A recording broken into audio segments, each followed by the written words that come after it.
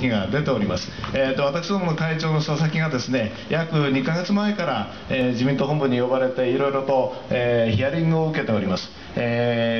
来年というわけにはいけないかもしれないんですけれども、えー、この先おそらく数年以内にはですね、えー、何らかの成果が期待できるということになっております、えー、今日いろんなまたお話もお聞きいたしますけれどもその中でも皆様方のお力添えもないとですねこういうその旧車の税金免税ということには、え、難しいかなと思います。ぜひそこら辺もですね、え、ご協力のほどいただきたいと思います。本日はどうもおめでとうございます。確かにあの門司港レトロカーミーティングのキャッチコピーとして長く乗るのが本当のエコだというのを言っておりますので、ねはい、皆様にぜひあのご協力いただきあと今日ステッカーもいただいてましたので必要な方あの車に貼っていただき